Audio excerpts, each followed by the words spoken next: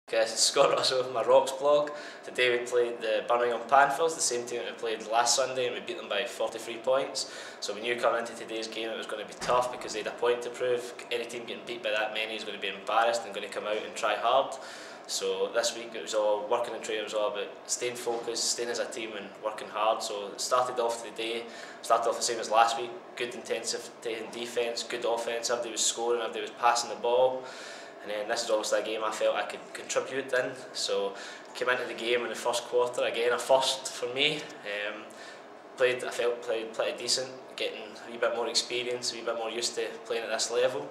Uh, the team continued to play well, subs rolling in and out. It's good team basketball. Um, half time with a lead, talked at halftime about had to keep going, had to keep pressuring them and really try and embarrass them and set out for the rest of the season because that's what it's all about. It's not about today, it's about the rest of the season. So second half came out, same intensity, played some more minutes, which I'm happy about, and uh, kept going and came out with a win.